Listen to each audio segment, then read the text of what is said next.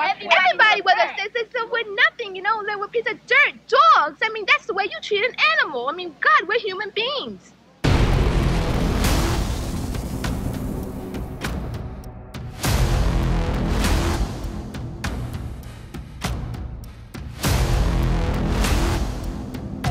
The nation needed a bottomless influx of slaves. After my election, there was talk of a post-racial America.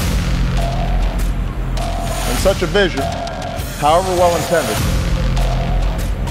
was never realistic. But what would have happened? I can't know for certain had the black woman said, this is unfair. Why are you doing this to me? First reaction of white Americans was violence. They'd bomb, they'd firebomb, they'd um, lynch, they'd, they'd beat up people. This is the common American narrative. I don't want her associating with colored people, period. How have you managed not to know what to do about racism? And they have told my children that they have to marry niggers.